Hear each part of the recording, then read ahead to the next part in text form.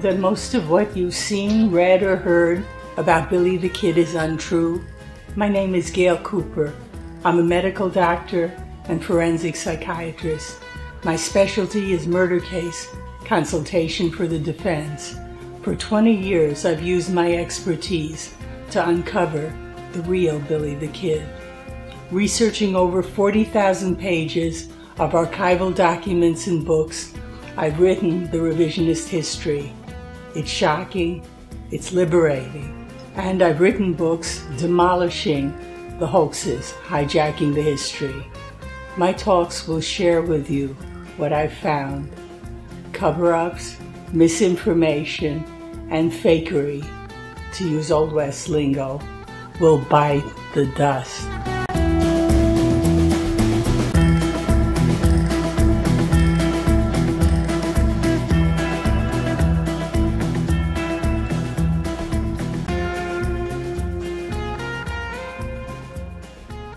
This talk gives my revisionist history perspective on Governor Lew Wallace, who betrayed his pardon bargain with Billy Bonney.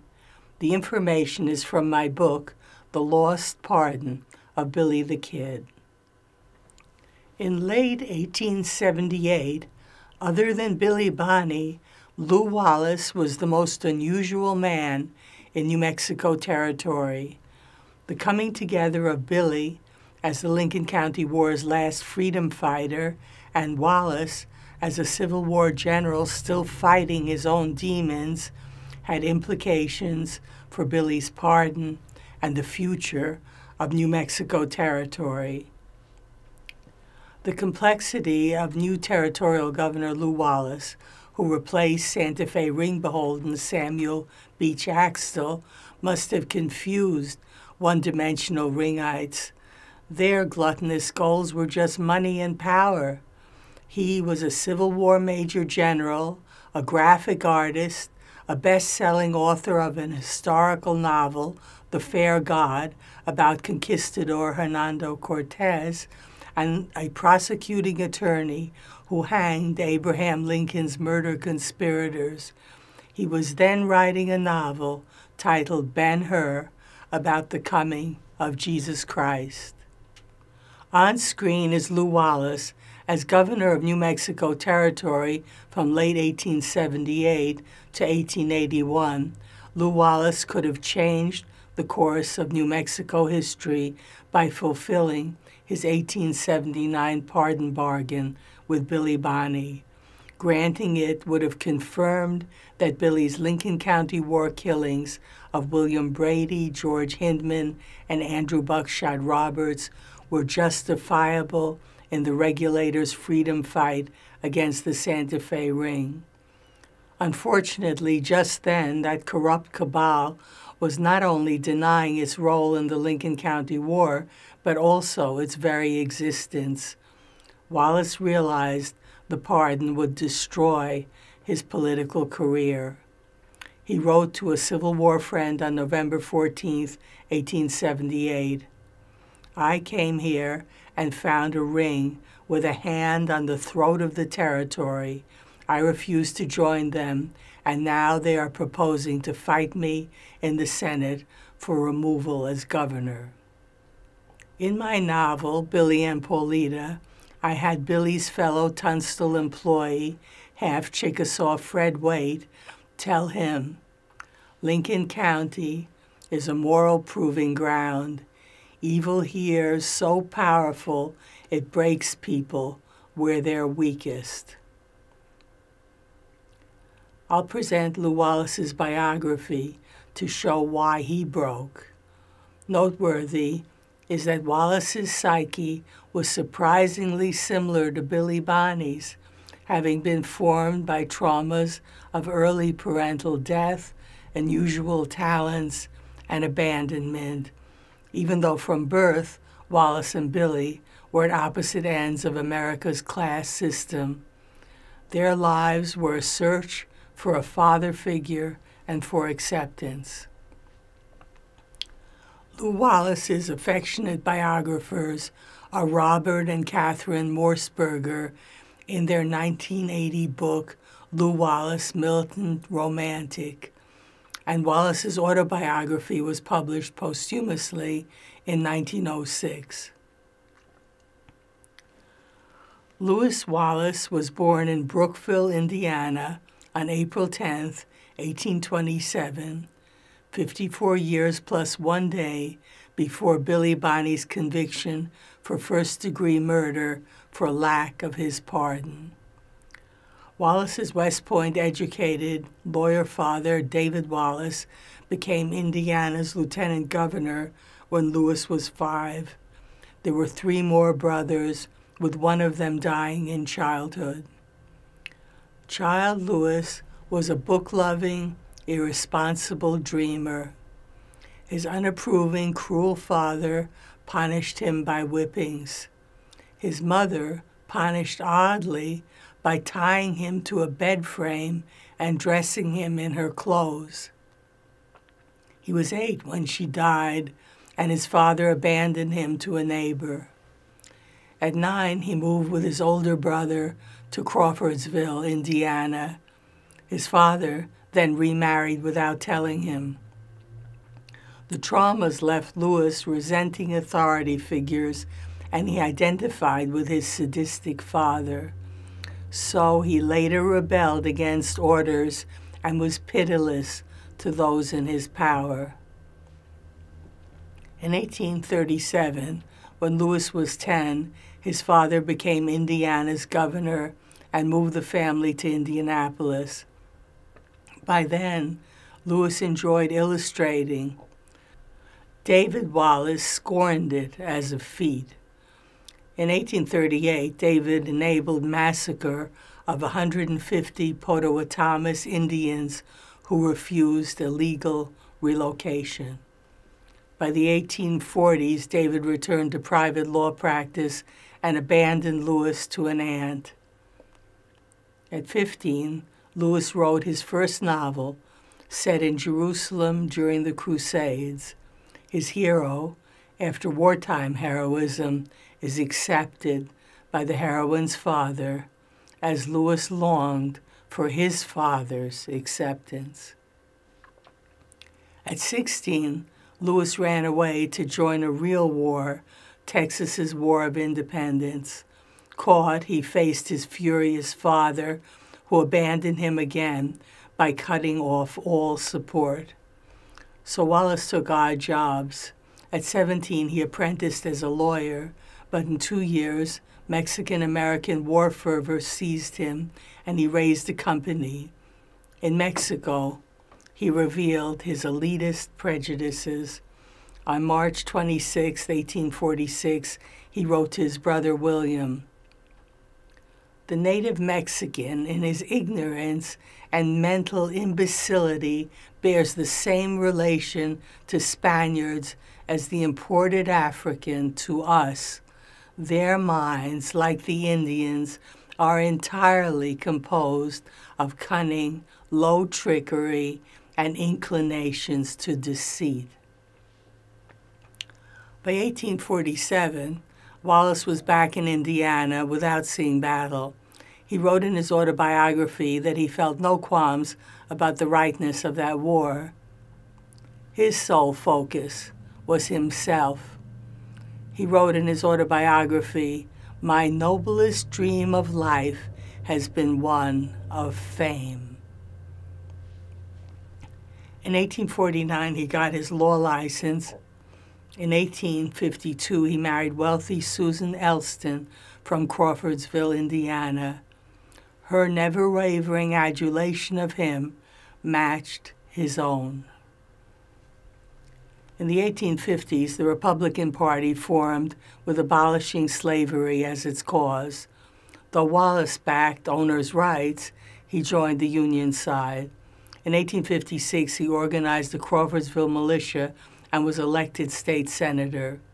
In 1859, seeing the Stephen A. Douglas and Abraham Lincoln debate, he chose Lincoln as a father figure and became a Republican. Wallace's benefactor was Indiana's governor, Oliver P. Morton. After the April 13, 1861 attack on Fort Sumter, Morton made Wallace an adjutant general in charge of raising troops. Wallace chose command as a colonel of the 11th Regiment of Indiana Volunteers, and he renamed himself as Lew. By June, his regiment had a successful skirmish, which he initiated without orders in Romney, West Virginia.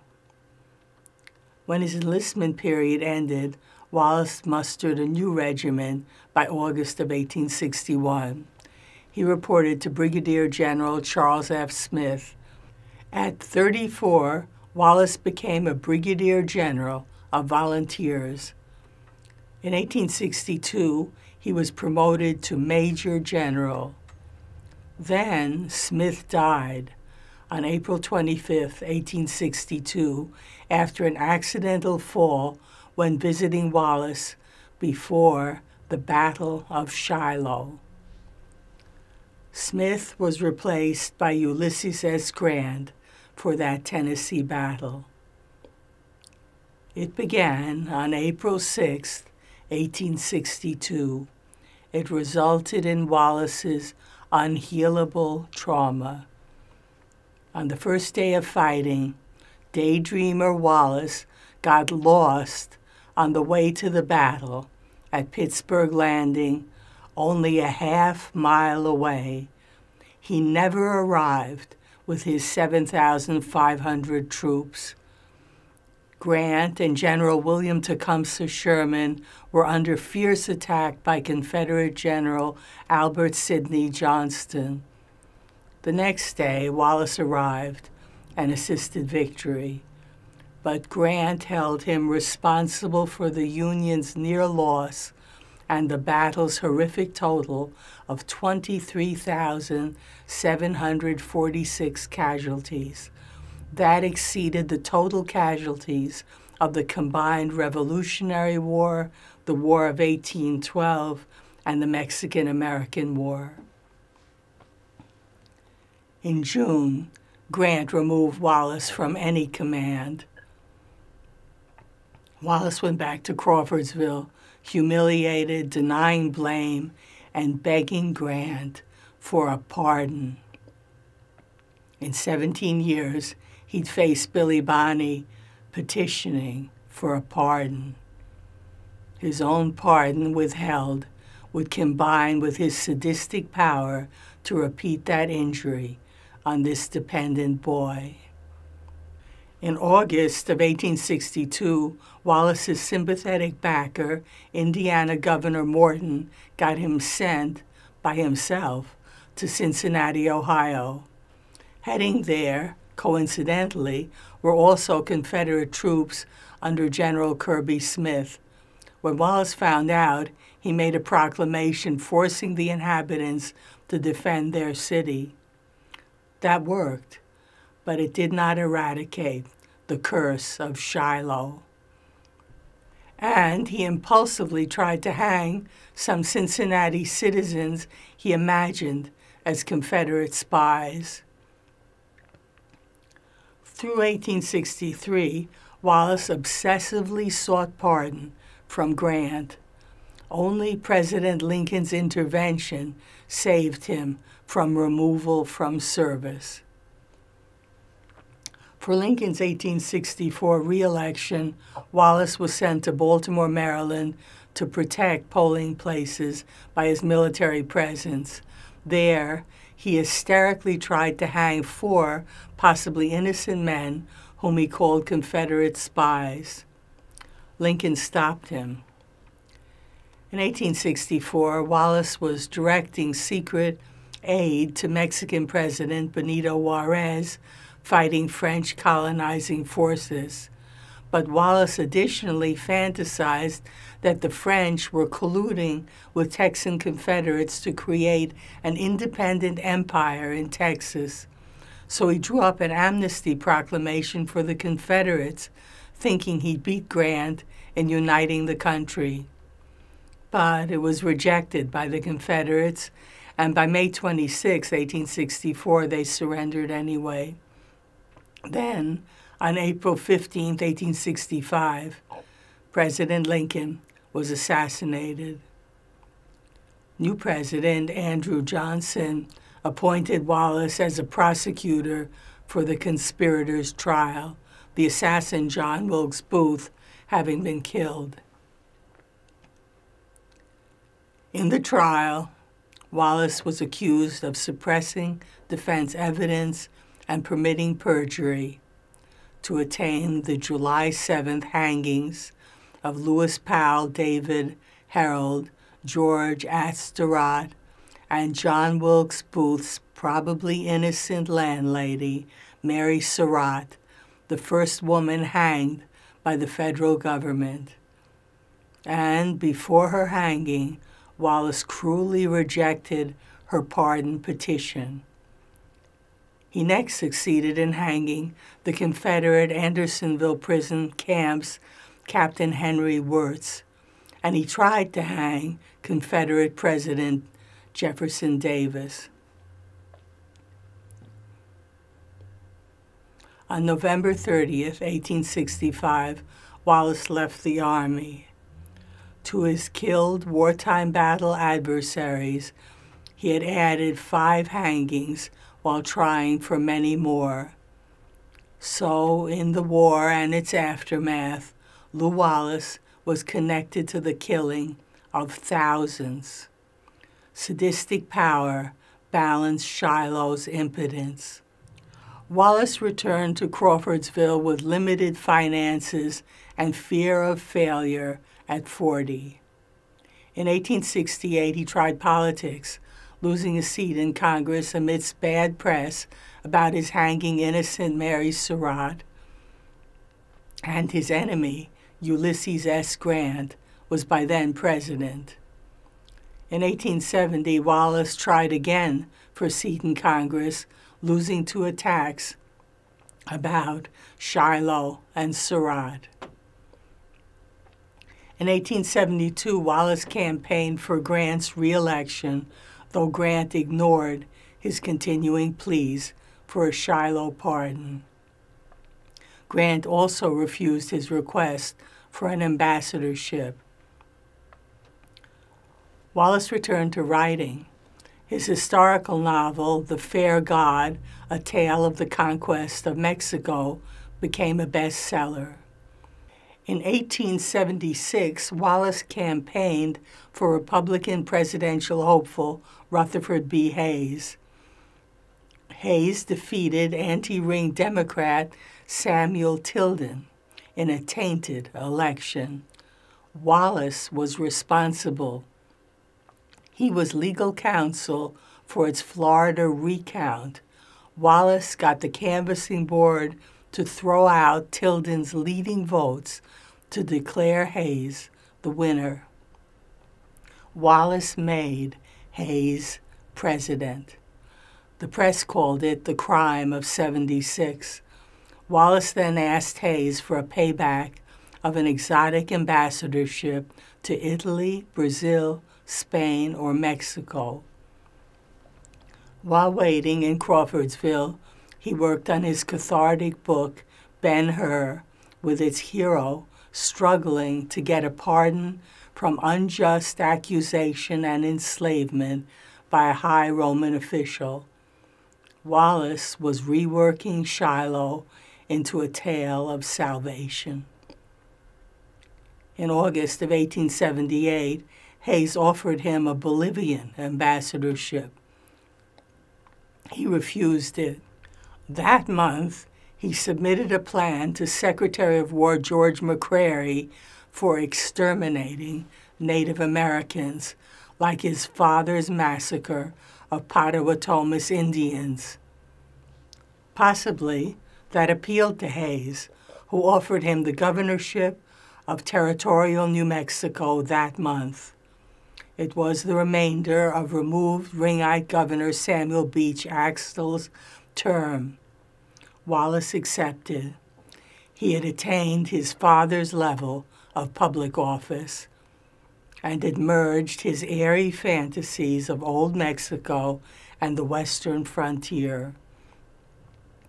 The territory's desperate, ring tyrannized citizens would soon become just fodder for his continuing narcissistic saga of his own life.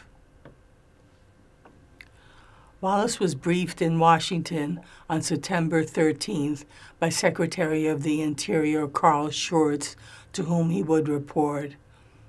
And investigator Frank Warner Angel, forced to cover up the Santa Fe ring in his 1878 reports about the ring's part in murdering John Tunstall and in the Lincoln County War, secretly gave him his notebook listing ringites and an 1877 pamphlet by a Mary McPherson listing Thomas Benton Catron as ringhead and the ringites' crimes. But Wallace had no interest in laboring for justice. He intended rapid quieting of the territory, keeping his wife Susan and son Henry amused in boring Santa Fe, finishing Ben Hur, making some mining investments, and leaving quickly to an exotic ambassadorship. Wallace arrived in Santa Fe on September 30th, 1878. He was sworn in as the territory's 11th governor on October 1st. Immediately, he tried unsuccessfully to get Hayes to declare martial law so he could hang all troublemakers. He then focused on renovating his official residence, the Palace of the Governors, and completing Ben Hur.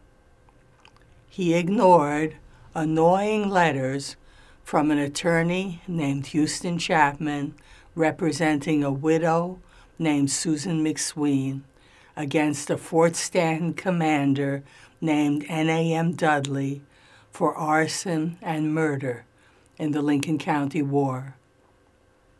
Wallace had no interest in visiting little Lincoln town's complaining citizens. On November 13th, for a quick fix, he issued an amnesty proclamation for non indicted civilians and soldiers from the Lincoln County War. With his elitism, he even conferred with Catron himself, whose office was in the same plaza as the Palace of the Governors. Catron's henchman, U.S. Marshal John Sherman, had already provided Wallace with an outlaw list it had mostly regulators. Billy was number 14 as a murderer named the Kid, William Bonney. So, as another quick fix, Wallace used troops to try and apprehend so called outlaws, whom he fabricated as causing the unrest. Billy evidently got extra ring promotion so Wallace offered an astronomical $1,000 dead or alive reward for him. That's almost $28,000 today. Then came February 18, 1879. The ring murdered Huston Chapman in Lincoln to stop his prosecution of Dudley. In March, grudging Wallace arrived there he tried another quick fix by removing Dudley as Fort Stanton's commander. That didn't work. In Dudley's corner was Catron. Catron faked Dudley in the press as a noble officer insulted by Wallace. Dudley was no Grant, but to vulnerable Wallace, Shiloh's specter loomed again, with added anxiety about failure as governor in the eyes of father figures Hayes and Schurz. Right then, Wallace heard from teenage Billy Bonney, cocky enough to propose a pardon deal as part of his own compulsive quest for a father and acceptance. It was a March 13th letter bargaining to give his eyewitness testimony against Chapman's murderers in exchange for a pardon, for his Lincoln County War indictments for the regulators' killings of Brady, Hindman, and Roberts. Wallace should have seen it as a godsend, and he had no qualms about giving pardons. He would soon turn a blind eye when Boss Catron, colluding with Ringite Judge Warren Bristol, used his amnesty proclamation to pardon all Ringite murderers and arsonists, even though they were excluded from it by being indicted. He met with Billy on March 17th in the Lincoln home of Justice of the Peace John Squire Wilson. But there was a clash of personalities and politics. Billy was unintimidated by elitist Wallace. That brought out Wallace's sadism and Wallace knew enough about the Lincoln County War to know Billy's pardon would pit him against the Santa Fe ring. So he went through the motions without intent. But Billy believed they had made a deal and submitted to sham jailing in Lincoln.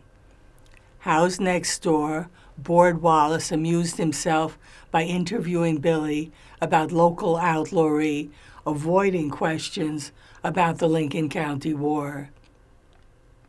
But Billy followed up with a letter on the war's specifics.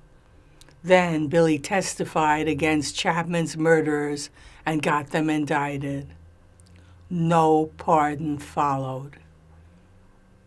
Next, on his own, Billy testified for the prosecution in Commander Dudley's court of inquiry Wallace, also testifying against Dudley, was exposed as an incompetent governor by Ringite defense attorney Henry Waldo. As if reliving Shiloh, humiliated Wallace retreated to Santa Fe and thereafter ignored Lincoln County and Billy's pardon. Dudley was exonerated by the Rig Court that furthered Wallace's avoidance of confronting the powerful ring. In January of 1880, hypocrite Wallace announced to the legislature that he had restored peace in Lincoln County. In truth, its citizens had sunk into hopeless silence as the ring flourished unchecked. And he completed Ben Hur an immediate bestseller. In September of 1880, Wallace took a two month leave to campaign for James Garfield's presidential bid. On December 22nd, he placed a newspaper reward notice of $500 for Billy the Kid, what the Ring's outlaw myth had named Billy. In 1881, elected Garfield offered Wallace the ambassadorship to Turkey. Intending to escape his hated governorship early, Wallace still had to face his pardon promise to Billy. He had ignored captured Billy's January to March of 1881 pardon plea letters from the Santa Fe jail. He hoped to hide his betrayal by Billy's hanging death. On April 13th, he issued his own gubernatorial death sentence for Billy for Sheriff Pat Garrett.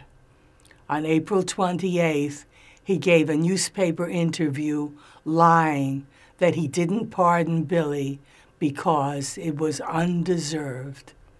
Coincidentally, Billy escaped jail that day, so on May 3rd, Wallace made a second $500 newspaper reward offer for Billy the Kid. But Wallace, unlike Ringites, had some conscience. Burying his guilt at betraying Billy triggered his lifelong compulsive fictions outlawing Billy and making himself the hero who was the object of Outlaw Billy's murderous obsession. That projected his own wish to kill Billy. On May 16th, in the St. Louis Daily Globe Democrat, Wallace published his bizarre dime novel fantasy of Billy's outlaw gang titled The Thug's Territory. Stage robbers and cutthroats have things their own way in New Mexico. General Lew Wallace, anxious to punish the crime that is so prevalent. A chapter about Billy the Kid. On May 28th, Wallace left the territory, but he could not escape his obsession with Billy. On June 18th, in the Crawfordsville Saturday Evening Journal, he presented Billy the Kid. General Wallace tells why the young desperado of New Mexico wanted to kill him. By the end of June, Wallace and his wife were on a boat en route to Constantinople and his ambassadorship. Billy had two weeks left to live because of his betrayal. From 1881 through 1885, Wallace entered his own romantic tales as ambassador to Turkey. He toured Jerusalem, Cairo, and Rome. On September 19, 1881, President Garfield was assassinated. In 1884, Wallace, with his wife, took a leave to campaign for Republican James Blaine for president. Then, the ghost of Shiloh rose again. Century magazine ran articles on the Civil War. Ulysses S. Grant would cover Shiloh. Wallace again pleaded with him for its pardon, but Grant, dying of throat cancer, damned him with a magazine and his memoir. He wrote, Wallace did not arrive in time to take part in the first day's fight. General Wallace has since claimed that the order delivered to him was simply to join the right of the army, but this is not where I ordered him nor where I wanted him to go. I never could see and do not know why any order was necessary further than to direct him to come to Pittsburg Landing. In 1886, Wallace returned from Constantinople to Crawfordsville, Indiana.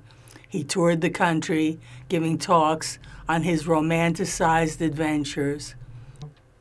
In 1893, using his Near East experience, he wrote another bestseller, The Prince of India or Why Constantinople Fell. In 1893, Shiloh rose again.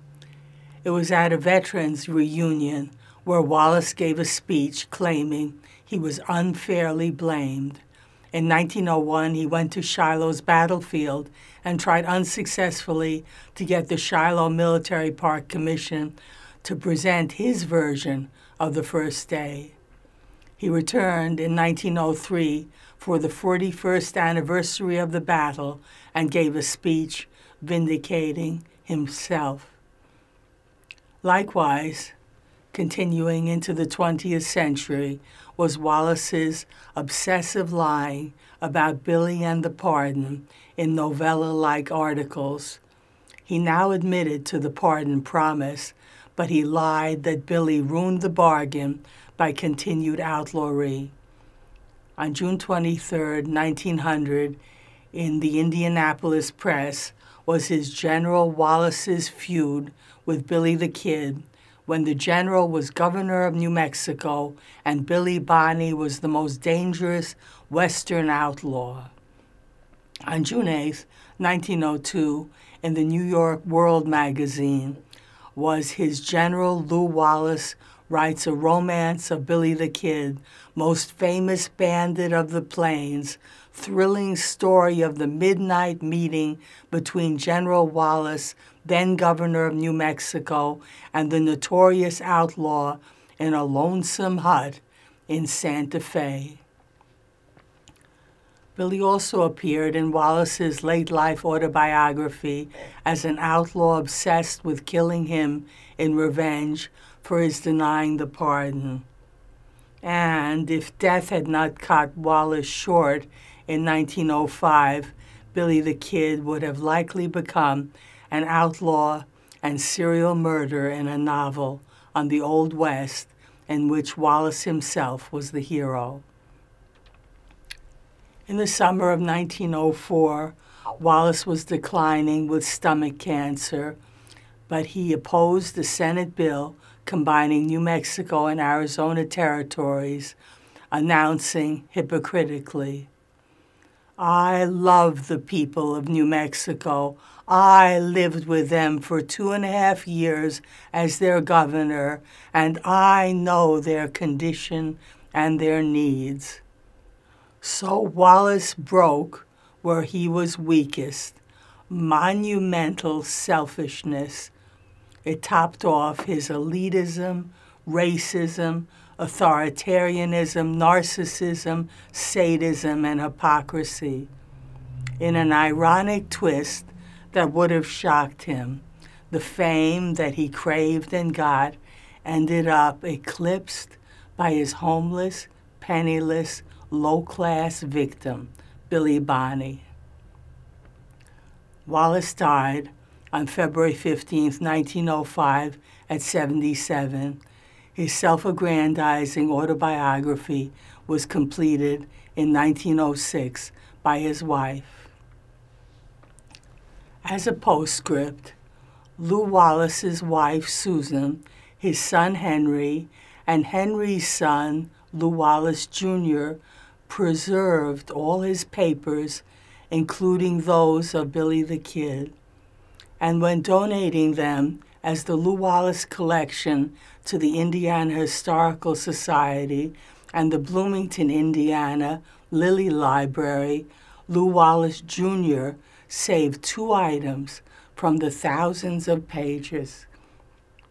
Billy Bonney's first pardon plea letter of March 13, 1879, and Billy's Santa Fe jail letter of March 2, 1881. Lew Wallace must have let it be known to his kin that there was something special about them.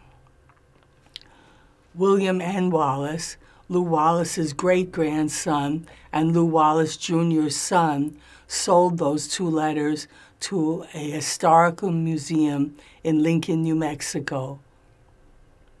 That same William N. Wallace in 2010 helped me to stop a modern Santa Fe ring governor's publicity stunt pardon for Billy the Kid to be granted to an old timer Billy the Kid impostor named Oliver Brushy Bill Roberts. So Lew Wallace's descendant helped me save Billy Bonney's history after his great grandfather helped the ring destroy Billy Bonney's life. In upcoming talks, I'll discuss Billy Bonney's lost pardon. In later talks, I'll discuss the 20th century Billy the Kid impostor hoax of Brushy Bill Roberts and its 21st century rerun by New Mexico's corrupt governor.